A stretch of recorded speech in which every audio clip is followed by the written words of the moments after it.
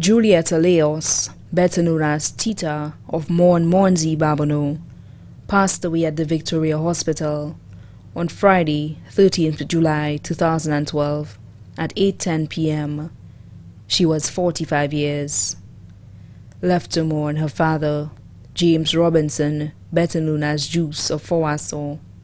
Her children, three daughters, Jane Neela Leonce of Castries, Tonia Leonce of Babonneau, Tuana Leonce of Babonneau.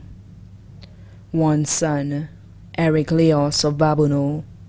One grandson, Shaquille Leonce of Castries. Companion, Michael Anthony, better known as Sheshe of Chasse.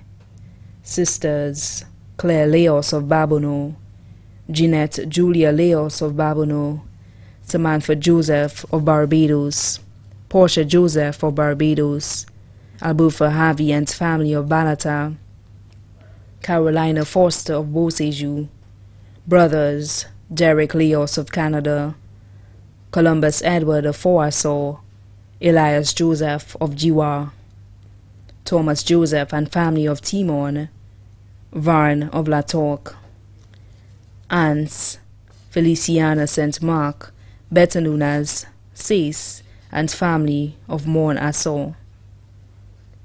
Mary Marulas and the family of the United States of America. Leontia Felix and family of the United Kingdom.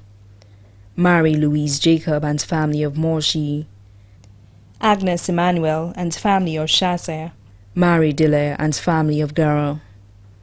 Mildrena Diller and family of the United States. Doreen Diller and family of Trinidad.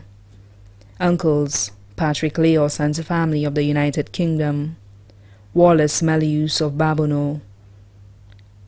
Atkinson Diller of Gara. Stepmother Viana Robinson, better known as Emma of Bourgis. Nieces Jael Huggins of St. Kitts. Also left to mourn the Diller families of Babonneau, the Melius family of Bourgis, the Leo family of Soufrière, the Pierre family of Babonneau, the St. Edward family of Babonneau, the Robertson family of Cul-de-Sac, and many other relatives, both here and abroad, too numerous to mention. Special thanks to Dr. Nathaniel and the nurses of Ward 4 at the Victoria Hospital. The funeral service of the late Julietta Leonce, better known as Tita, will be held at the Good Shepherd Church in Babonneau on Wednesday, July 25, 2012 at 3 p.m. Then the body will be laid to rest at the Gara Cemetery.